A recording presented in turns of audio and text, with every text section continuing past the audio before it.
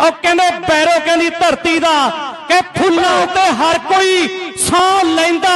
ਉਹ ਕੰਡਿਆਂ ਤੇ ਸੌਣਾ ਔਖਾ ਏ ਦਸਮੇਸ਼ ਪਿਤਾ ਨੇ ਪੁੱਤ ਚਾਰ ਬਾਰੇ। ਉਹ ਪੁੱਤ ਇੱਕ ਮਰਵਾਉਣਾ ਔਖਾ ਏ ਪੁੱਤ ਇੱਕ ਮਰਵਾਉਣਾ ਔਖਾ। ਪਿੰਦਾ ਪਿੰਦਾ ਧਨੌਲੇ ਵਾਲਾ ਟਰਾਈ ਇਹ ਵੀ ਖੇਡੂ ਕਹਿੰਦੇ ਯੂਰਪ ਮੇਰੇ ਵੀਰੋ ਮਾਲਵਾ ਕਬੱਡੀ ਕਲੱਬ ਦੀ ਟੀਮ ਦੇ ਲਈ